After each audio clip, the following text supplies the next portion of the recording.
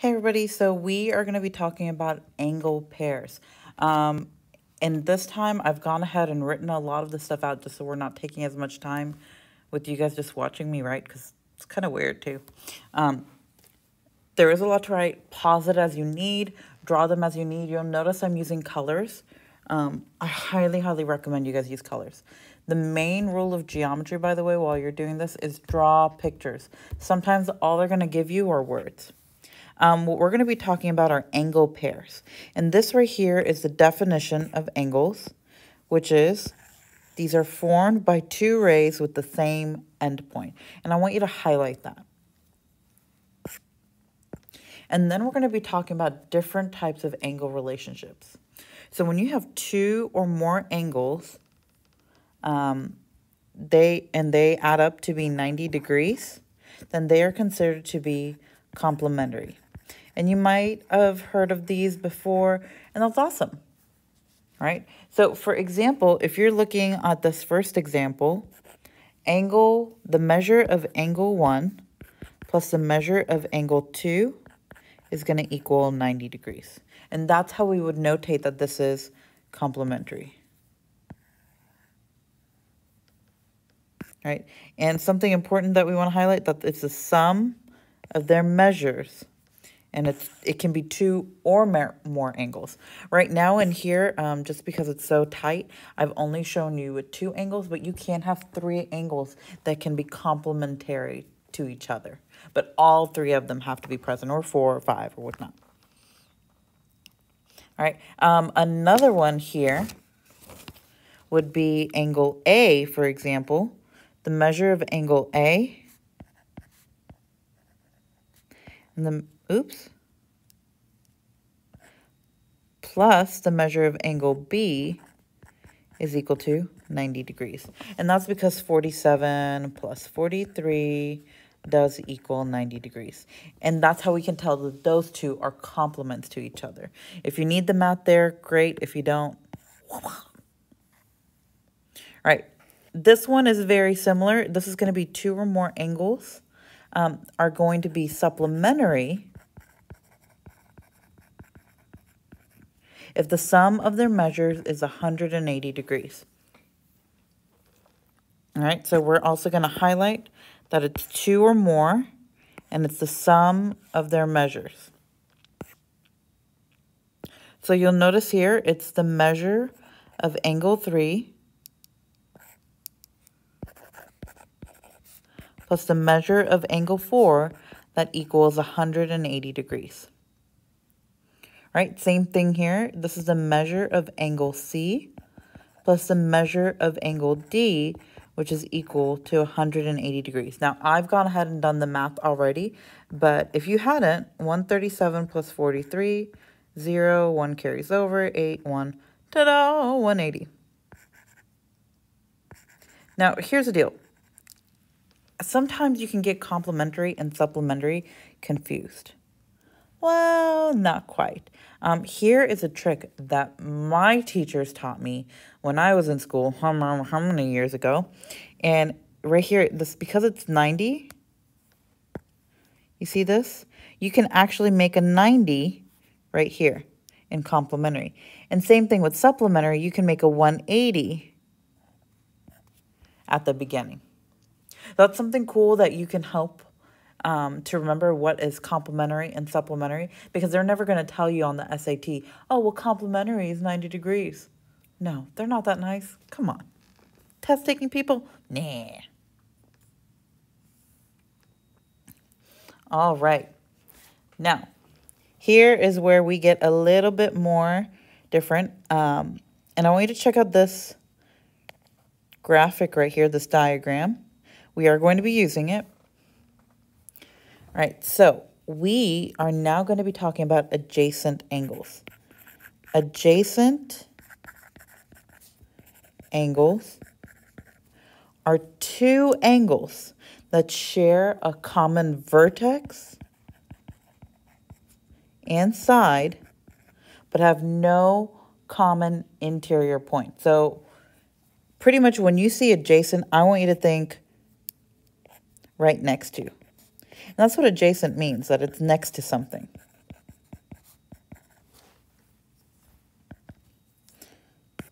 So, in fact, this right here, angle ADB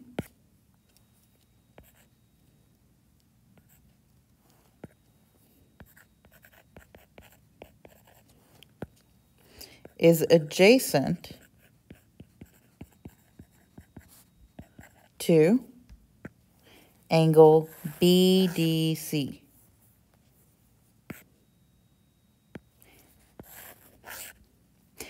And you'll notice that we've got this kind of overlap happening here.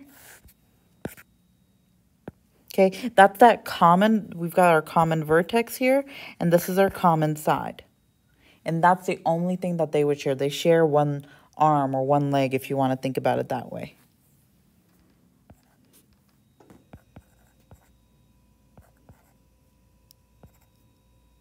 Now, from adjacent angles, you can have some really cool relationships. Um, and because there are only two angles, okay, two adjacent angles right here, right, two of them are considered to be a linear pair if their non-common sides are opposite rays. And you'll remember we've talked about opposite rays quite a bit now. So their non-common sides are opposite rays. So look at these two right here. This part is an opposite ray to this end. Now, there is a postulate that goes with linear pairs, and it states that if two angles form a linear pair, so if you've got a linear pair, then they are supplementary pretty much linear pairs are always supplementary.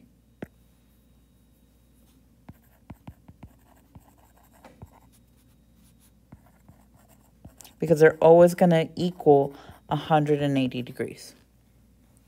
So, think about it this way. If it's a line and it's a straight angle, which means 180 degrees.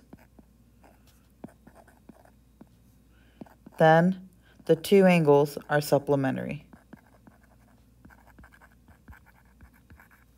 So in this case, we can write that the measure of angle 3 plus the measure of angle 4 is equal to 180 degrees.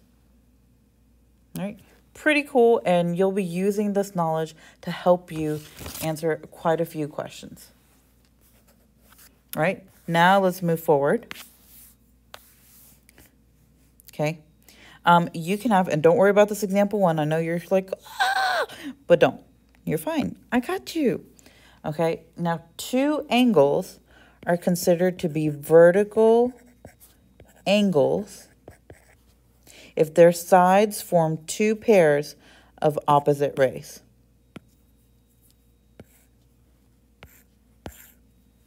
All right, so pretty much what that means right here, um, I am going to actually go ahead and label these out for us. Just so we know what we're talking about. I use a different color. Um, these opposite angles right here, so say angle 1 and angle 3. These are considered vertical angles. Their sides are forming two pairs of opposite rays. So this is an opposite ray right here. And this is another set of opposite rays. So it's got two pairs of opposite rays that are forming. And we can even write that the measure of angle 1 is congruent, that's what the symbol means, to the measure of angle 3. And you'll notice you have another set right here. So these two, and you'll notice I'm writing two lines for this because it's our second set of congruent ones, and they're not congruent, they're not all four congruent to each other. It's the measure of angle 2 is congruent to the measure of angle 4. All right, um, something to write down opposite angles. Okay. That's something to help you remember that these are vertical angles. And they are always congruent.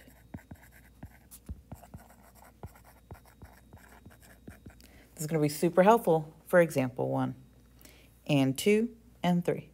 Oh, mostly three, and for your homework assignments. All right, now this question is asking us to find the measure of angle ABC, this one right here,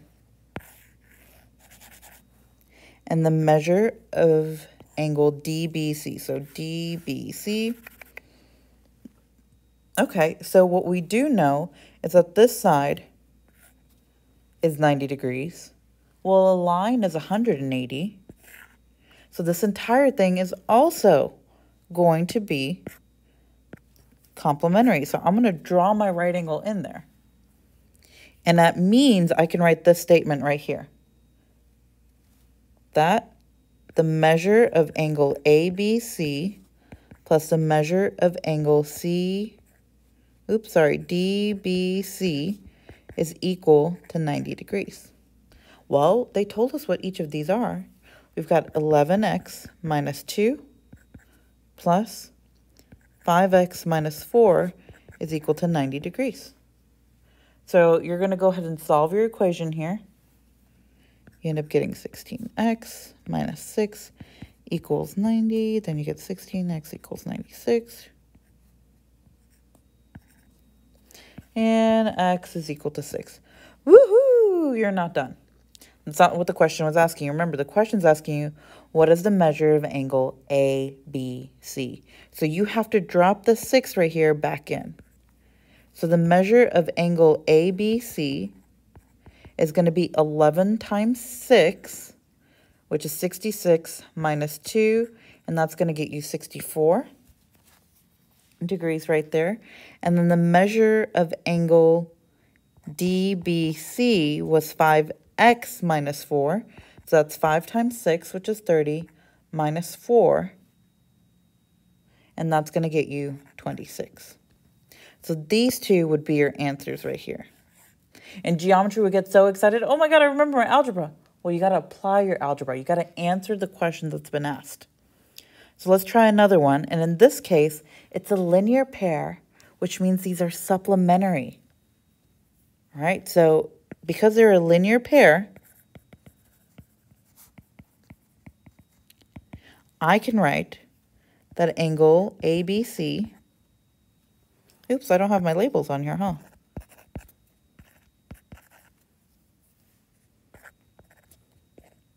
There we go. Um, plus the measure of angle CBD equals 180. And I'm sorry I don't have room, so I didn't put the M's there. Hopefully y'all did. Uh, maybe. All right, so we've got 8x plus 9 plus 6x plus 17. That's going to equal 180. Well, solve for x. And when you are done solving, you should get that x is equal to 11. Take that and you're going to drop it in. All right, so x is equal to 11. Angle ABC is going to measure 8 times 11, which is 88, plus 9, which gets you 97 degrees. And then you've got angle CBD, which is 6 times that x, which is 66 and plus 17, which is going to give you 83 degrees. And these would be your answers here. All right, this next one, you might take a minute to go ahead and copy this diagram down. I'm going to have you use this diagram to determine the relationships of the angles listed. And I'm going to use color. All right, so the first one it's asking us is to find the measure of angle 1, I'm sorry, the relationship between angle 1 and angle 2.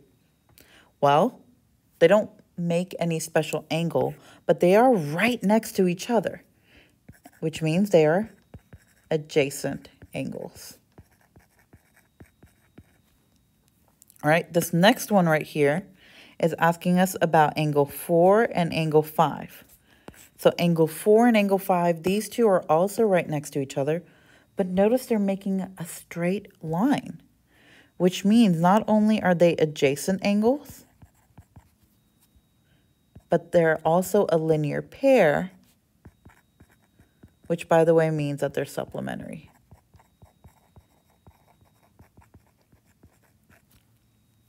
All right, let's try this next one. We've got angle 7 and angle 9. So these two right here. Ooh, so you'll notice angle 7 and angle 9.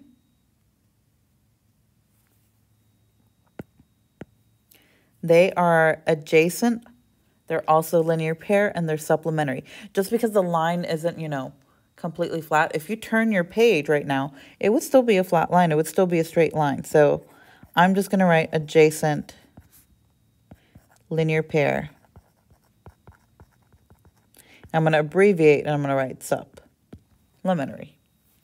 All right, here's our next one. We've got angle 6 and angle 9. So this one and this one. So these two are across from each other, which means they are vertical angles. And if you recall, because they are vertical angles, these two are congruent, which means you need to draw these congruency marks that I just did. And by the way, quick side note, that means that angle 7 and angle 8 are also vertical pairs. Not that it's asking us, but hey, you can be smarter than what they ask you for. And then they're asking us for angle 2 and angle 6. What? An angle 2 and angle 6, they're not next to each other. So they can't be adjacent. They can't be linear pairs. They're not across from each other like angle 6 and 9 are. So they can't be vertical angles. And we don't know if they're going to be complementary or supplementary. So they have none. They have no relationship. Guys, you made it. Congratulations.